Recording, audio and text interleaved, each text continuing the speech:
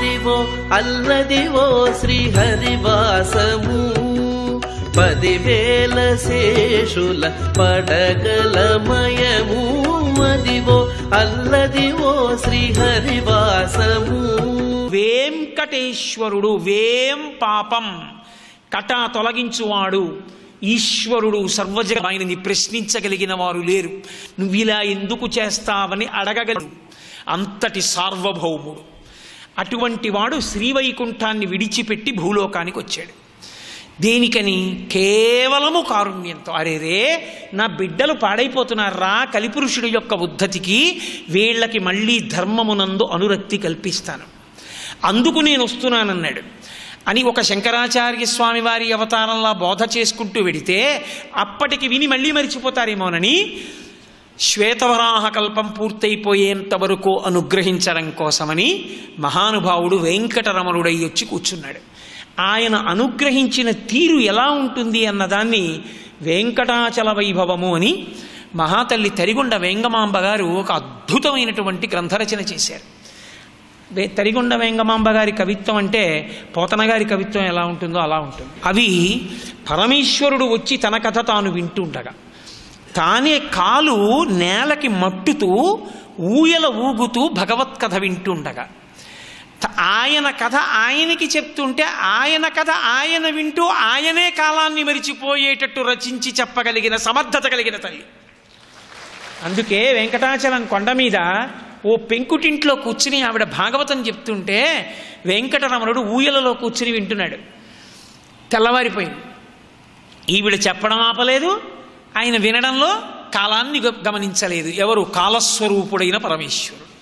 అందుకే లోకంలో ఒక మాట చెప్తారు భగవంతుడు బాగుంటాడా భగవత్ కథ బాగుంటుందా అంటే మంచి బిగి మీద భగవత్ కథ జరుగుతుండగా అకస్మాత్తుగా మీ పక్క కుర్చీలోకి వెంకటేశ్వరుడు వచ్చి కూర్చుని నా గురించే చెప్తున్నాడు. అన్నాడు అనుకోండి చెప్తే చెప్పాడు కనుక చెప్పాగు అది అన్నీ. అనేటట్టుగా చెప్పబడిన కథ ఏదో అది భగవత్ కథ. కాబట్టి భగవత్ కథకున్న శక్తి భగవంతునికి ఉండదు నిజానికి. అంత అందంగా ఉంటుంది భగవత్ కథ. అందుకే ఆయన కథకి ఆయనే వశుడు అయ్యాడు. ఎంతో అనురక్తితో వింటున్నాడు. తెల్లవారుజామున మూడు గంటల వేళ అయిపోయింది. కౌసల్యా సుప్రజారామ పూర్వ సంధ్యా ప్రవర్తతే. సుప్రభాతం మొదలెట్టారు. వెంగమాంబ వెంగమాంబ సుప్రభాతం చదువుతున్నారు. వెళ్ళిపోవాలని గభాలను దూకేశాడు ఉయ్యాల్లోంచి. పద్యం మధ్యలో కట్టం మధ్యలో ఉంటే ఎక్కడికి వెళ్ళిపోతావు? ఆవిడ పంచిపట్టుకున్నారు అది ఆవిడ స్వతంత్రత. త్యాగరాజస్వామి వారిలా ఎన్నాళ్ళు జానకి వడ్డిస్తుంది ఎన్నాళ్ళు నువ్వు తింటావు? జానకే వండుతుందిలే నేను వండితే నీకు రుచి పనికిరాదేమో. ఆవిడ వండితే వండింది పోని ఇవాళ నన్ను వడ్డించని అన్నారు త్యాగరాజస్వామి అలా అన్నది భక్తి ఆ స్వాతంత్రం ఉండాలి భక్తిలో. కాబట్టి ఆవిడ పంచ పట్టుకుంది పంచి చిరిగిపోయింది. వెంకటరమణుడు ఆనంద నిలయంలోకి వెళ్ళిపోయాడు. సుప్రభాతం తలుపులు తెరిచారు చిరిగిపోయిన పంచితో లక్ష్మీనాథుడు ఉన్నాడు. తెల్లబోయారు. అప్పుడు అనుకున్నారు ఆయన పంచి చిరిగిపోయేటట్టుగా పట్టుకోగలిగినంత స్వాతంత్రం ఆవిడికి తప్పేవరికి ఉంది కాబట్టి ఆవిడని వెళ్ళి అడగండి అన్నారు. ఆవిడ ఆ పంచ మడతెట్టి ఇంట్లో అలా పక్కన పడేసి పూజ గదిలో. వాళ్ళు వచ్చి అడిగారు అర్చకులు వెంకటేశ్వర స్వామి వారు కట్టుకున్న పంచి చిరిగిపోయిందమ్మా మీ ఇంట్లో ఉందా ముక్క? అని అడిగారు. ఆ కథ చెప్తుంటే మధ్యలో వెళ్ళిపోతుంటే పంచి పట్టుకున్నాను చిరిగిపోయింది అదిగో మడతెట్టి ఆ పూజ గదిలో పెట్టే పట్టుకోండి ఆవిడ. ఆవిడికి అంత స్వాతంత్ర్యం ఈశ్వరుడి దగ్గర. ఆవిడ చేశారు వెంకటాచల మహాత్యము అని ఒక గ్రంథం. అది వెంకటరమణుడు ఆమెకి అనుగ్రహించి రచింపచేశాడు. ఆయనే విని ఊకొట్టాడు కొట్టాడు. అందుకే ఆ కాలంలో ఆ వెంకటాచల మాహాత్యము అన్న గ్రంథాన్ని వ్రాత ప్రతి కింద వ్రాస్తే ఎవరైనా ఇంట్లో వెంటనే పెళ్ళయ్యేది ఆడపిల్లలకి. అందుకని అందరూ పుస్తకం రాస్తూ ఉండేవారు అసలు. ఆవిడ చేసిన గ్రంథాల్లో చెంచు నాటకము అని అదొక అద్భుతం అంతే ఆ చెంచు నాటకం.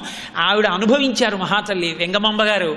ఆ చించిత ఆ చించిత వెంకటేశ్వర దర్శనానికి వెడిచింది వెడితే అక్కడ ఉన్న ద్వారపాలకులు అడుగుతారు మీ ఊళ్ళో ఉన్నాడంటున్నావు కదా వెంకటేశ్వరుడు మీ ఊళ్ళో ఉన్న వెంకటేశ్వరుడిని చూశా అంటున్నావు కదా ఈ ఊళ్ళో ఉన్న వెంకటేశ్వరుడికి మీ ఊళ్ళో ఉన్న వెంకటేశ్వరుడికి ఏమిటి తేడా? అని అడిగారు. ఒక్క మాట చెప్తాను ఆవిడ ఓ మాట అంటుంది ఆ చించిత అమాయకత్వం పరకాయ ప్రవేశం చేసి రచన చేయడం అంటే అది. ఆవిడంది ఈ వెంకటేశ్వరుడు అక్కడక్కడ బట్ట అంటించుకున్నాడు అంది ఆవిడ. ఈయన పంచి కట్టుకోలేదు గుడ్డ ముక్కలు అంటించుకున్నాడు అక్కడక్కడ అంది. ఎందుకని? వెంకటరమణుడి పంచంతా మీకు ఎప్పుడన్నా కనపడిందా? ఎన్ని ఆభరణాలు పెట్టేస్తారు. అన్ని ఆభరణాల మధ్యలో ఏదో గుడ్డ ముక్కల్లా కనపడుతూ ఉంటుంది ఇలా అక్కడక్కడక్కడక్కడ రంగులతోటి. అందుకని ఆ చించిత అమాయకంగా అంది పంచ కట్టుకున్న ఆభరణాలు పెట్టుకున్నాడం లేదు. అక్కడక్కడ బట్ట అంటించుకున్నాడు. బట్ట అంటించుకున్నాడు. అక్కడక్కడ ఈయన పంటి కట్టుకోలేదు. ఇక్కడ ఉన్న వెంకటేశ్వర స్వామి వారి దేవుడు. సర్వం శ్రీ ఉమామహేశ్వర పరబ్రహ్మార్పణమస్తు. స్వస్తి.